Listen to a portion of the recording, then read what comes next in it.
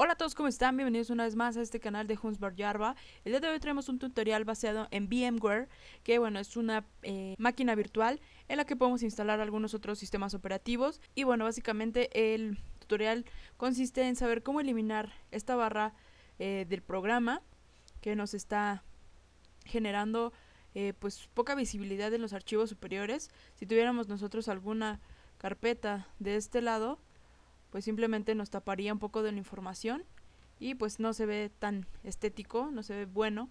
Así que bueno, les voy a enseñar cómo eliminarla, es muy muy sencillo. Simplemente tenemos que ir al menú de View y vamos a darle aquí en este botón de Exclusive Mode.